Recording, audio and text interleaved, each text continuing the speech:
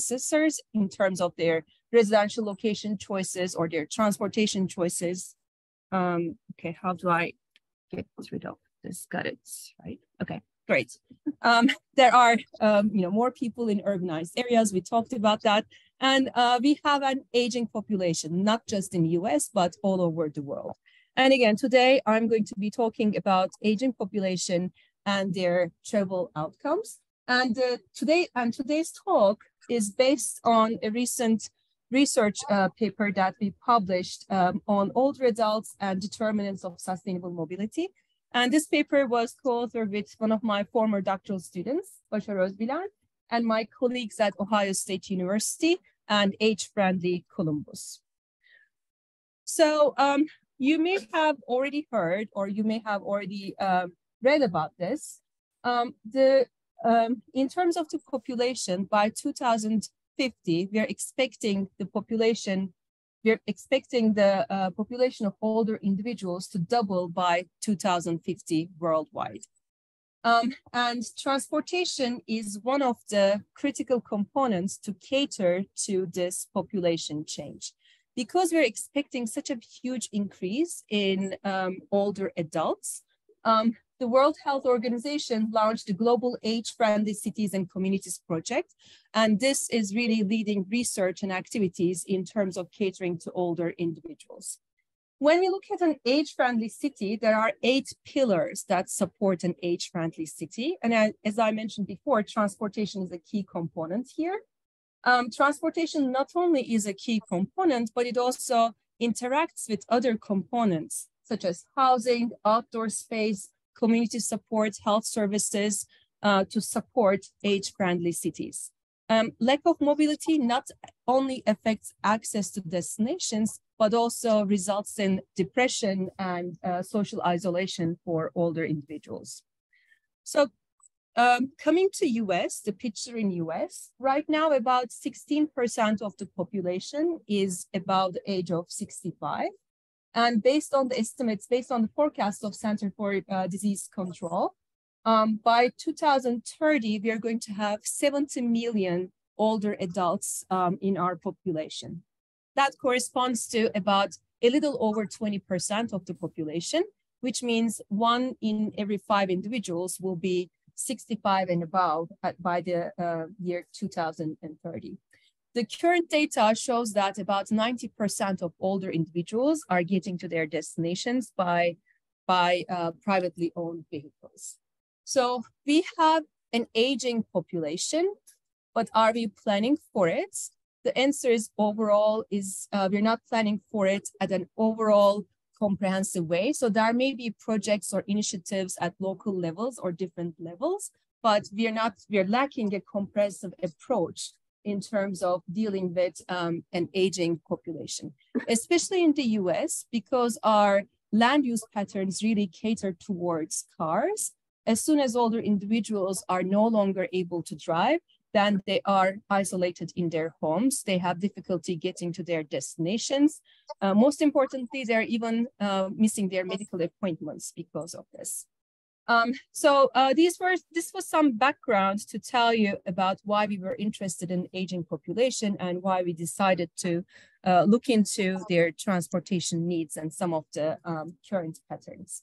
So um, older adults travel behavior is affected by the similar usual suspects when it comes to travel behavior. So social demographics such as age, gender, employment, lifestyle related factors, health status, and built environment characteristics, they all affect the travel behavior of older adults, which is not different from uh, the rest of the population. Um, I would say from a planning perspective, the third category, built environment characteristics, would be the most important to focus for us because that's the place that we can make interventions and we can make changes uh, to individuals' lives. So in this study, we focused on three questions. We wanted to find out what built environment characteristics are associated with older adults' travel outcomes. Uh, we wanted to understand whether there are age cohort specific effects, because when we look at older adults, uh, there are cohorts within that group as well. And what can we do as planners to uh, meet the needs of older individuals? The study, I don't know if I can close this and should be okay, right? Okay, great. Um, the data comes uh, from the Columbus metropolitan area. Um, and Columbus um, for, for those of you who have not visited Columbus before, a lot of people think Columbus is a small city, a college town. That's not the case. That's uh, Columbus is the 14th most populous city in the US. Um, it's, it's a medium-sized city, just like quite a few other medium-sized cities in the Midwest. Uh, there's a um, highly connected highway network, um, but when it comes to transit and facilities for bicycles and walking, we significantly lack, uh, Columbus significantly lacks those facilities. Uh, based on the American Community Survey, um, Central Ohio residents who are above the age of 50 makes up about 30% of the population. And based on the forecasts of Mid-Ohio Regional Planning Commission, uh, Central Ohio is expecting to double the population of those who are um, ages who are aged 65 and older. So um, because of these uh, large, expected large increases in aging population, the authorities, namely the City of Columbus, um, uh, Mid-Ohio Regional Planning Commission, they launched the Age-Friendly Columbus and Franklin County, Franklin County Initiative in 2016. And this initiative works with cities and other organizations to improve the lives of older residents. So they work to increase the walkability of sidewalks and streets, they empower older adults uh, to prepare their homes for a safely aging, uh, aging in place. They work with city officials to create knowledge base for these individuals. So they do quite a few projects working with older adults and city organizations. And the primary data for this study actually comes from one of their projects. They collected data in 2016 uh, from older adults aged 50 and above. Um, and the survey had about 1,200 valid responses. And the survey asked um, a broad uh, base of information from the survey respondents. So the survey was not only based on transportation, uh, but we used mostly the transportation part for our research purposes. Um, the survey included information about individual and household characteristics, transportation mode choices for different activities, and also uh, built environment characteristics around respondents' household locations. So the built environment part uh, gave us a little, um, gave us some limitations.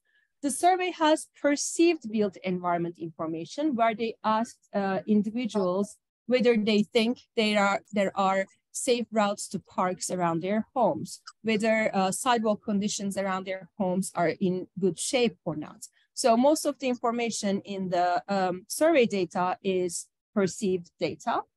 Um, that's why we decided to bring some objective uh, measures to the analysis, but that's where we used the EPA Smart Location Database. Um, the survey asked individuals their zip code. So unfortunately, we did not have an address information. We only had the zip code, which is quite an aggregate level for this type of study, but that was the only thing we had. So um, we were able to bring some built environment variables as control at the zip code level using Environmental Protection Agency's smart location database. So, and before we move forward, I also would like to talk about what we really focused on and how we created the outcome variable. We were interested in the travel outcomes of older individuals.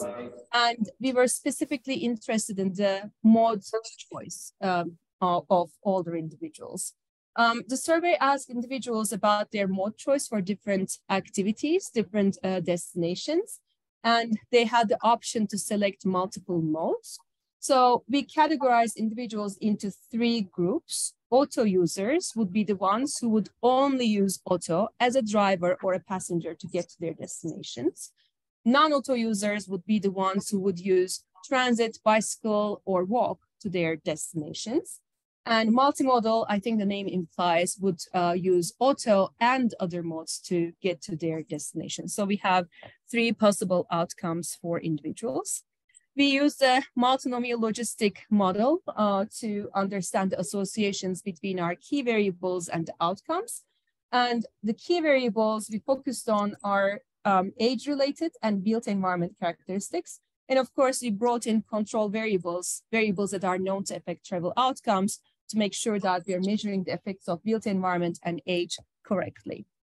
So um, the key variables, looking at the um, variables that we're focusing on, I'm not going to go over um, every single cell and talk about the numbers, just a few observations uh, based on the descriptive statistics to give you an idea about how the sample looked like. The sample had um, over 80% identified as auto users. So as you can see, non-auto users and multimodal uh, travelers are about six to 9%. And looking at the age distribution, we created cohorts, uh, 50 to 59, 60 to 69, and then 70 plus. And we find that most of the individuals in the survey data, in the survey sample, um, are between the ages of 60 to 69. And then, but we still have a good distribution of individuals in other age groups as well. Um, as I mentioned, the survey had uh, questions about perceived built environment variables. And we used these two in our final models because the others, they either had very few responses or they did not turn out to be statistically significant.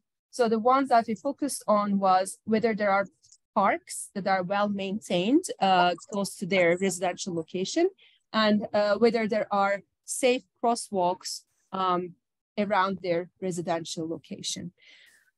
So looking at the control variables, we again, as I mentioned, we brought in the variables that we know that affect travel outcomes to measure our key variables effects correctly. And uh, one, so we had gender, race, income, employment status, and one um, variable that I would like to highlight is the health status. So in the survey sample, only about 12% rated their health status as poor or fair.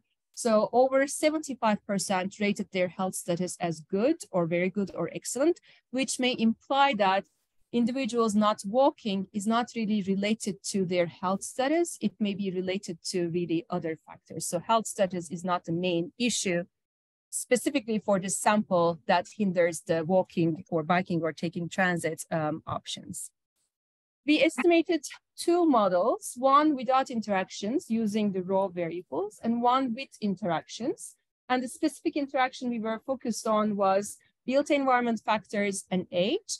And as I'm going to talk about it in a few minutes, we found that proximity to crosswalks with countdown uh, is the only one that really changes across the age categories. And I'm going to talk about that in a few minutes. So um, looking at the model estimation results uh, without the interaction effects.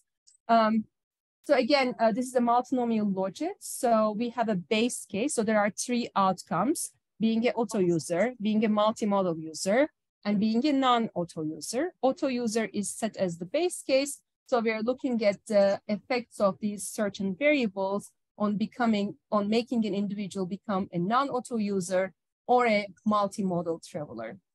We report the relative risk ratios, which if the relative risk ratio is less than one, then the effect uh, increases the probability. So if it is less than one, the uh, variable decreases the probability of becoming, let's say, a non-auto user, one of uh, the outcome variable.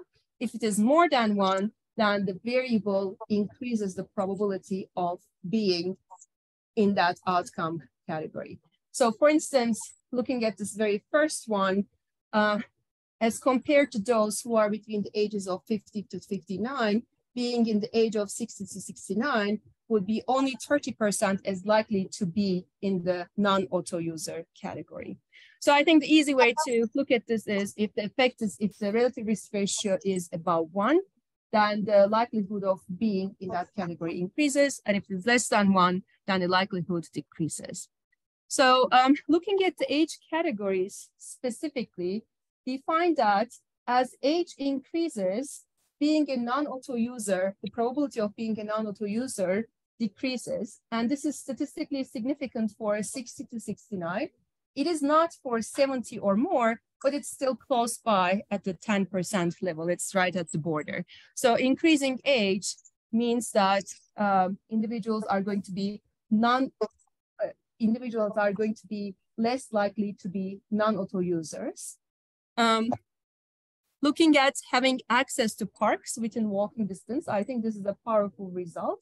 Uh, having access to parks within walking distance significantly increases the probability of using multiple modes as compared to being just an auto user.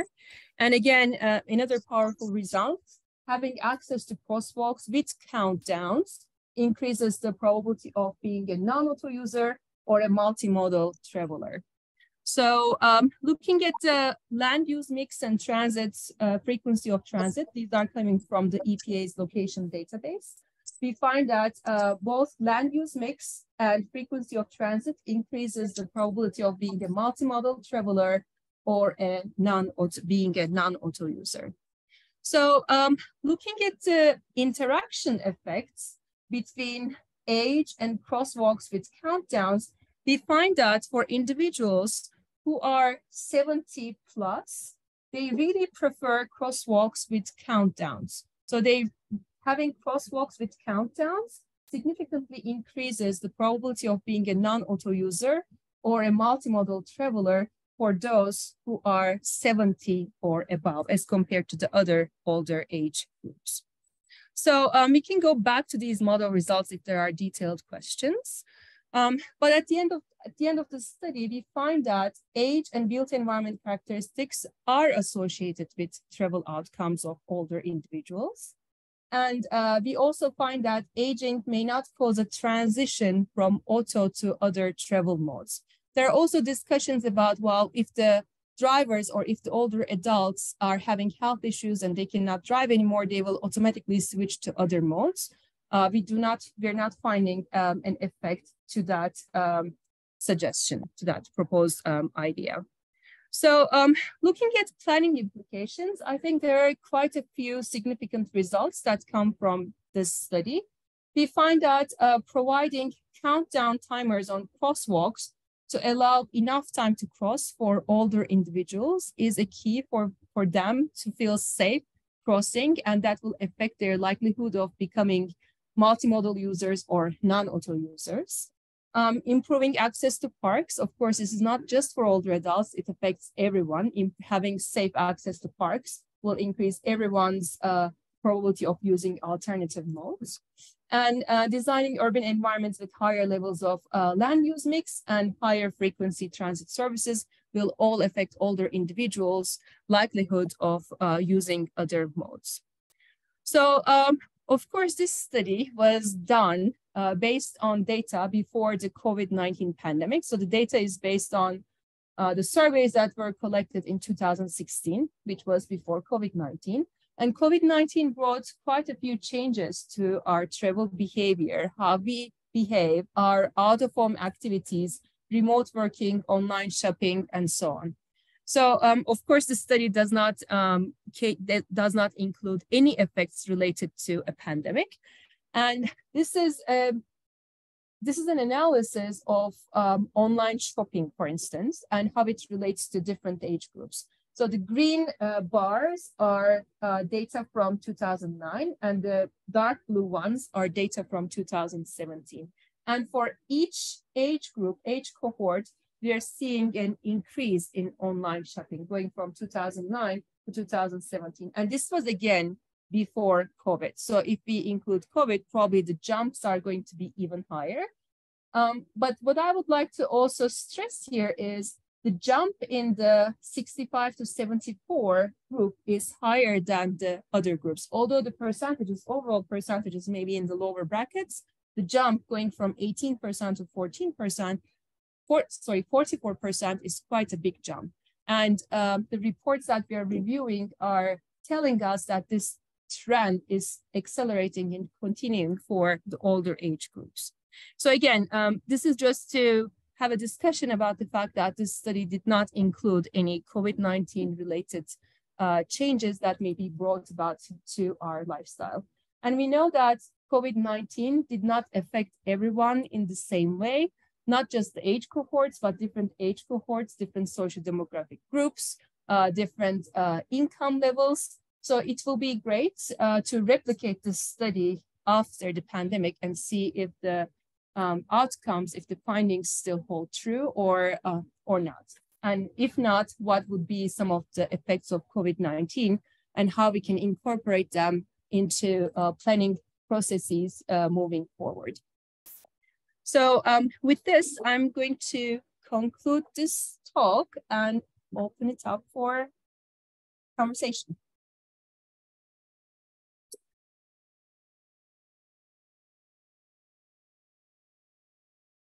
questions from everybody. I'm gonna I'm gonna let the people online know that they can submit their questions online and I'll read them out. But are there questions in the audience? Charlie. Quick one. Um, I'm curious the finding of the, the, the countdown, the crossing countdowns. Um, I wonder if you've had any conversations with the city about their strategies for where they put those, and if there might be some correlation. Right, right. Because if, if, if we know that those are helpful, especially for older adults who might be walking more slowly. Um, it'd be really, it'd be interesting to see sort of how they would deploy again that, that side of the plan. So um, we did not have any specific conversations about how they chose the specific locations, but we see them just from observation in downtown areas more as compared to like more suburban um, areas. Um, so I don't know um, if there would be a correlation between older adults living in those areas versus not. So of course, one of the limitations of this study is we do not uh, account for residential self-selection if individuals are choosing locations upfront that cater towards their transportation needs or not. So that's one of the limitation. Um, but I think since the individuals are coming from all over Columbus in the study, they're not from specific locations, specific communities. I think that affect uh, will probably be eliminated. I don't think there will be a correlation between outcomes and, um, you know, outcomes and where the locations are.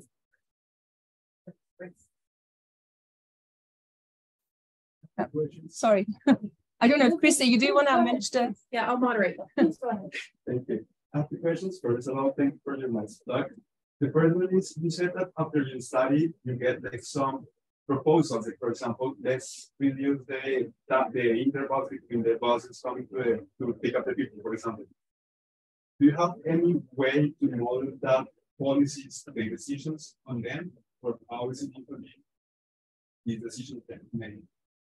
So as researchers, and um, it's not really specific to this study, but, but in general, as researchers, we basically take the data and model how the current um, you know, behavior, how the current outcomes are being played out, right? So we can look at the factors going in, factors coming, and outcomes coming out. And then we inform the officials in terms of recommendations. So as researchers, we cannot really go out and change the countdown uh, timers or you know specific bus stops and so on, but we can have conversations with city uh, managers, city officials so that next time they're making these decisions, uh, they make some more informed decisions. So this study was done uh, with me and my doctoral student and also age-friendly Columbus. So they have incorporated some of the findings that came from the study for their, to, to their strategic plan moving forward. It's a quick question. Have you studied, like for example, in the COVID-19 you said situation, how are the mobility patterns, patterns affect the spread of the disease? That you know, there are some studies like that. Mobility patterns and spread of the disease, for example, in So I haven't really looked at. I'm I'm not really uh, an epidemiologist, obviously. So uh, I haven't really looked at that. But I have done some studies in terms of risk perceptions and COVID nineteen and people's behavior. And what we found was, and Christy knows that study, what we found was, uh, especially in the earlier, earlier stages of pandemic, people were really wary about taking public transportation and using other shared modes, such as shared bicycles and, and so on. So they really wanted to be on their in their car, or they wanted to use their own bicycle or, or walk, if this it's a walking or uh, bikeable destination. I think we're seeing shifts towards uh, going back to normal, especially after people got vaccinated, we had masks, and we knew more about COVID 19 and how to protect from that. Then we saw some uh, shifts going backwards to norm- normality. But I don't know if there if there are any studies looking at whether people were more likely to get um, COVID if they were riding the bus versus others. I mean, there are studies on the perceptions, but I don't know if there are studies on the actual outcomes. So I'm interested in how this uh, study can actually inform policy decisions in the global south, given that they have a different kind of age structures where The youth are the majority and they are not actually then can the global south use this particular kind of study to inform the policy of the so um, if I'm understanding correctly, um, you're saying in global south, older adults make a smaller portion of the population? Yeah. yeah. And so how then can we borrow this kind of this informed policy? So I think in terms of applicability of this study, I don't think you can take a study from uh, Mid uh, Ohio and then apply it to, let's say, uh, South Africa. I don't think you can do that directly. But the uh, process that went into this study, the surveys and so on, could be replicated. And even though the older adults may uh, be making a smaller percentage of the community in um, Global South, they are still important and we still want to cater for them. We want them to be a part of the community.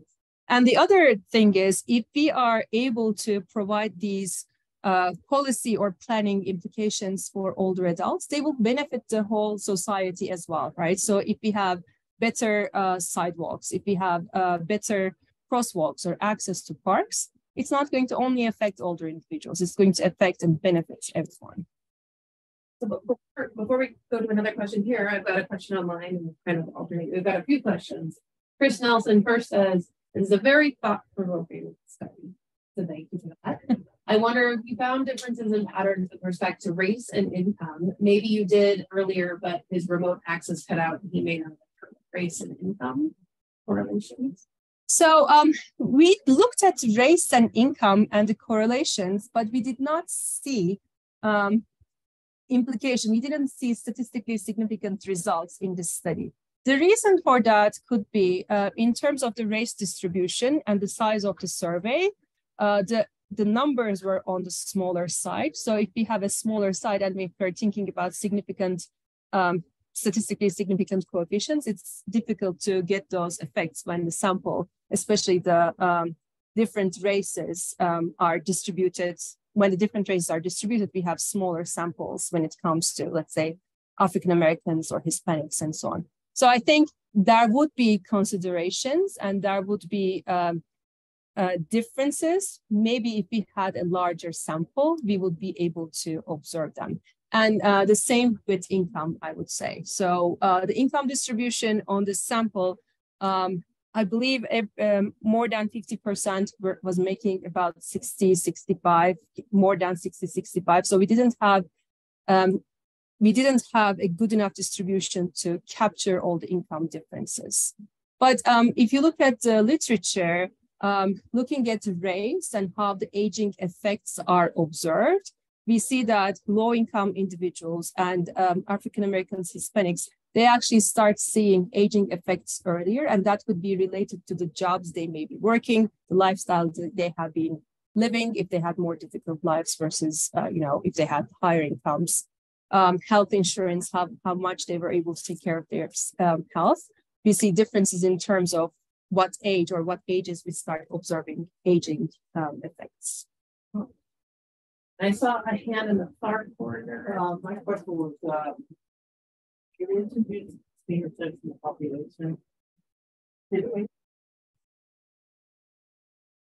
That we could determine whether the person across the street. So I can calculate, well, that person's not going to make so well, that's a that's a fantastic idea. I don't think um, I don't think that was considered at the time of the survey. So I think the only question that was asked was uh, whether there are crosswalks with countdown signals um, around your household residence. But that's a fantastic uh, idea, and we talked about basically marrying the idea of catering to everyone and technology And that would be a great use of technology in this case. Going back online, Gretchen Lur asks, uh, or, or her question first. Uh, for many non-auto users, they are reliant on others for their trips and errands. Mass transport for older adults with mobility impairments is fragmented and unreliable.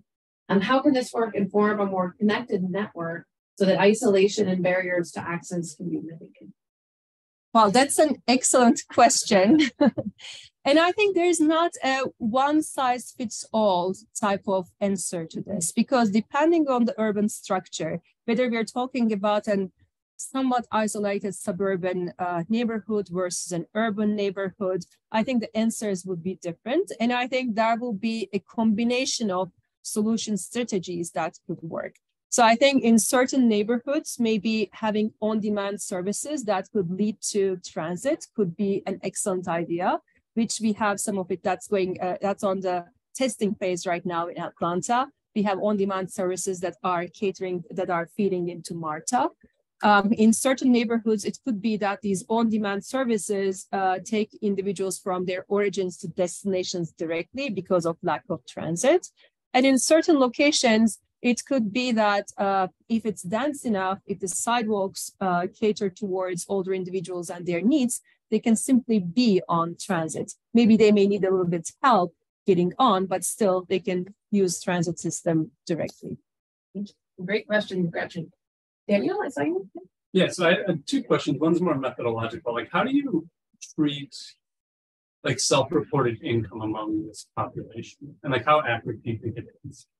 Well, I think that's the caveat with with a lot of other surveys that we uh, use, right? So we basically um, take it as it is. So we ask about the household income, and whatever they report, we we take it as it is. So when we were cleaning the data, if they didn't report anything, or if they reported quite large incomes like you know more than 20 million and so on we, we basically got rid of those data but in general again just like with any other survey we take it as it is then my other question is like what what from your like interpretation of your results you have like an indication of what is motivating people to particularly among the non-auto using group? Like what's motive? Is it recreation? Is it trying to stay healthy? Is it kind of necessity? I mean it's difficult with like the lack of income data. Look at like, you know, whether or not they, they need to walk because they don't have a car or reliable access to transportation? Well, that's an excellent question, but we did we weren't able to get to that with this data. But I think it's again looking if you look at the literature, it's a combination, right? Especially with COVID, people really understood the importance of physical activity, right? So with that, people started walking or biking more. So part of it is really recreation, but then having destinations within walkable um, distances is also important, right? Getting to a coffee shop or getting to a friend's house. And then, of course, part of it is necessity. If you don't have access to an auto, or if the person uh, cannot ride transit because of different reasons, then they would be choosing to walk. Mm-hmm. So I think it's a combination of all. And I think it's a great question, which uh, may be a topic for another paper that I'm thinking right now. Fruitful area. Yes. I have another question online. Um, online is very active. Uh-oh. uh, we will not get through all the questions. I see there are more here too. Um, from, and I apologize if I'm saying your name wrong, uh, Minju Kim. Hi, I'm wondering why you chose the evening peak hour for the frequency of transit. I feel older adults might travel more non peak hour with more flexible schedules. Um, and if they don't work, any, or if they don't work anymore, so if they're retired, does EPA provide non-peak hour information for the frequency of transit as well? So I don't have the answer to that question on top of my head, but if um, if Minji can uh, connect with me after this, if she if uh, Minji can send me an email, I'll make sure to find the answer to that question.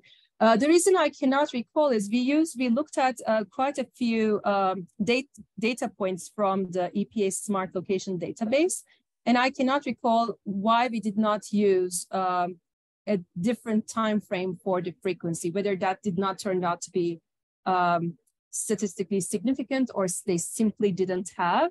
I cannot recall, but I can answer that okay. afterwards. So Minju Kim, please please respond to uh, Gulsah Online with their email address. And for all the students, just in case you haven't seen it, the Smart Location Database is publicly available. So something to look into. And I think on the very end, Um, my question, that's a really question. Uh, I wonder if you extracted some patterns or you can tell us more about what the general needs that that, that population might have in terms of mobility. What are the usual tricks that they do or, you know, like different uh, conclusions that we observe uh, from people uh, done, that are not in that age group. So um, this survey didn't really have those questions in terms of what, what their needs are or what types of trips that they're finding difficult to fulfill. Uh, but again, if you look at the literature, uh, there is a variety of, um, there are variety of reasons that older individuals or disabled individuals um, at the same time um, are finding difficulty to get to their destinations. Uh, we did some preliminary surveys in Marysville, which is not Columbus, Ohio, but Marysville, Ohio. And we asked older individuals in terms of what types of trips they're having difficulty fulfilling and, and which ones would they prioritize. And their trips to medical services would be the first one that they would need help with and they would prioritize. So the employment related ones, um, I think that was not prioritized. The reason for that, I think people who are still employed are probably on the a little younger uh, spectrum of the distribution of age. And if they're employed, it may be that they have the means to drive a car, maybe the um, employment, um, maybe the employee is providing access. So um, employment was not the top, but the top one was access to medical services and also social events. Because I think, again, with COVID, we realized that if we don't have access to transportation and if we cannot socialize, that has some tremendous effects on our psychology. Definitely saw that. So Nate Dyer online asks, what would you recommend as a way to plan for sustainable mobility in more rural communities, especially for rural communities that have higher amounts of seniors aging in so I think, again, um, I don't have experience in rural planning, but again, there is not a one solution fits all type of approach.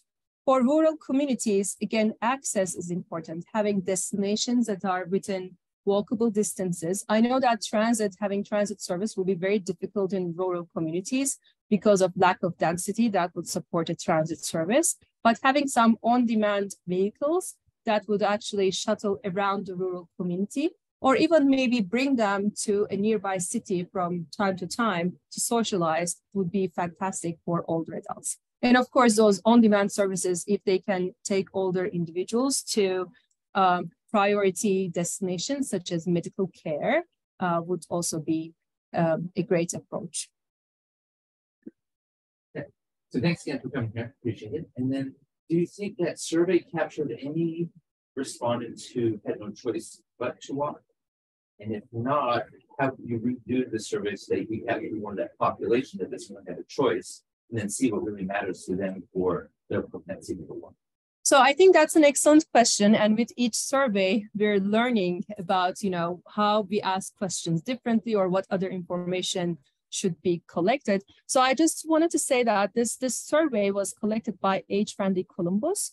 And it's a, it's, it was a comprehensive survey asking about their health and other issues. Transportation was only a part of it. And we became involved with the project after the fact.